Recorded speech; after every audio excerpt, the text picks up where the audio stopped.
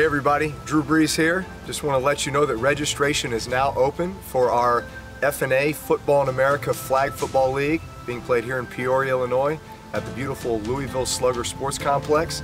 You can go to playfna.com, click on the Peoria link, and register now. See you this fall.